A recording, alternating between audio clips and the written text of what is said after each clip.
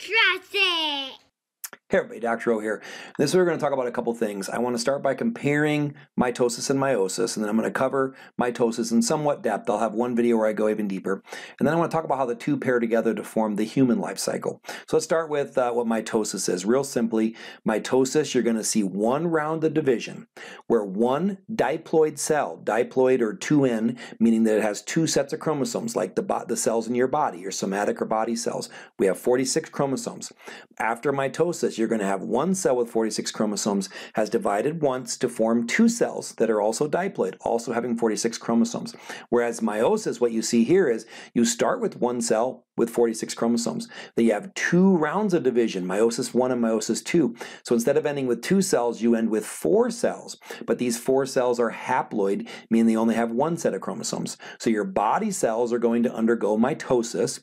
Your sex cells are going to undergo meiosis because sperm and egg cells are the only cells you want that have one set of chromosomes, only 23. So obviously these two work together to form the human life cycle.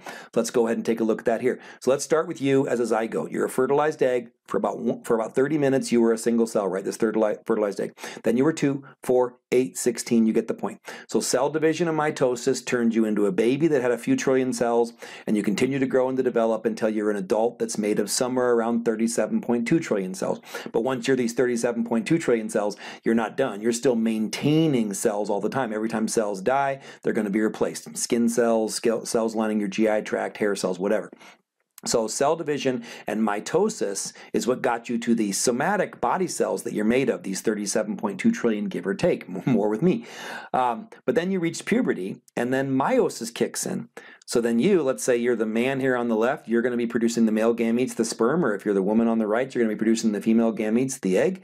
So meiosis is going to be where you produce sex cells, and then your sperm or your egg is going to find its counterpart, and now we have a fertilized egg or a zygote again, and the next generation. So your offspring started as a single cell, become fully formed adults, produce, uh, use meiosis to produce sex cells to form the next generation, etc. So I like to call that the, the human life cycle, which is the combination of a whole lot of mitosis and then enough meiosis to produce your offspring, right? I have one, one biological child so all the sperm my body's made of only needed one, right? And my wife needed the one egg. So that's going to be the human life cycle. Now let's go back and let's look a little bit more deeper into mitosis because meiosis is important, but we don't talk about that much until the last chapter together when we talk about the male and female reproductive tracts. So mitosis is going to be the key right now. So I will go into more detail, but I'm going to give you the awesome 10,000 foot view, which is going to have most of the important information you need. So here we see the cell life cycle. First thing I want you to note, this entire thing is not mitosis. Mitosis is just there in the middle. They call it PMAT, so we'll come back to that. But the cell life cycle starts with interphase. Interphase is, for the average cell, it's 90% of the cell's time. It's an interphase. Think about, uh, you don't spend all of your time reproducing. You spend most of the time doing your job, whatever it might be. So about 90% of a typical cell's life cycle or cell cycle is going to be an interphase.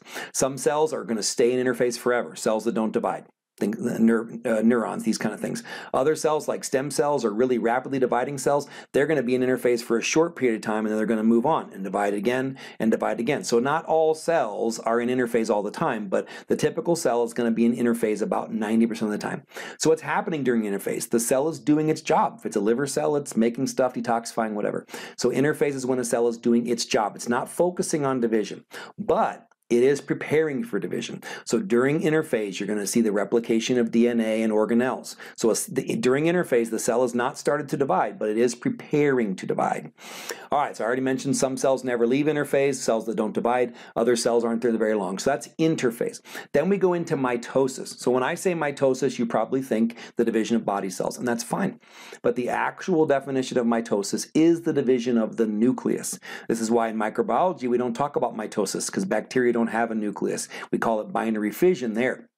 So here we see mitosis or PMAT, prophase, metaphase, anaphase, and telophase or telophase. So real quick, during prophase, the nucleus disappears. Now, so you have all your genetic material, the chromatin, the, the DNA has, has clumped together to form chromosomes, and the, and the nucleus has disappeared. So that's going to be prophase. During metaphase, the chromosomes line up at the equator of the cell, or the metaphase plate. During anaphase, the chromosomes are pulled apart into two piles. During telophase or telophase, telophase, two new nuclei form. So now you have that one egg with two yolks. You have one cell with two nuclei. Then we end the cell cycle with cytokinesis, which is where the one cell actually splits into two.